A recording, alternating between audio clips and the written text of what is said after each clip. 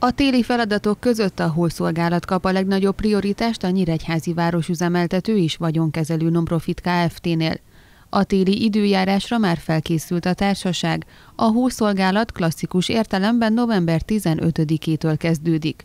Az előkészületek közé tartozik az anyagbiztosítás és a gépek felkészítése, valamint ellenőrzése.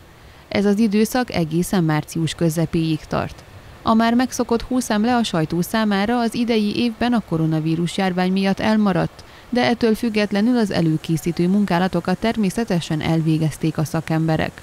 Hat vezérgéppel, hat nagy géppel, valamint 29 kisebb kiegészítő géppel, amelyekkel a a közlekedés biztonságát tudjuk biztosítani Nyíregyháza területén, a besorolási kategóriáknak megfelelően, ami azt jelenti, hogy hét ilyen kategória van, természetesen ennek megfelelően végezzük a hószolgálat ellátását, jegesedés esetén a síkosságmentesítést, hóesés esetén pedig a hó eltakarítását.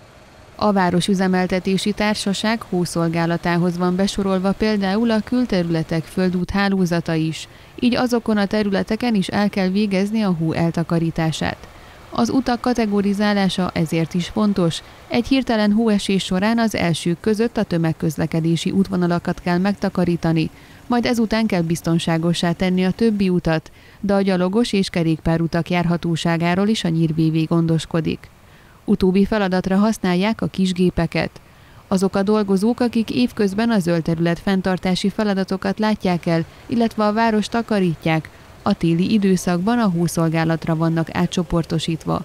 Bár hóesés még nincs, a gépek jelenleg is dolgoznak.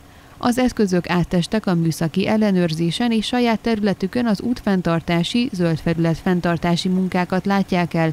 Ha pedig leesne a hó, pár perc alatt át lehet őket szerelni és elvégzik a hóeltakarítási feladatokat is. A tavalyi évben nem volt túl sok hó, így nem sokszor vonultak ki a gépek az utakra, Ettől függetlenül az idei telet felkészülve várja a Városüzemeltetési Társaság.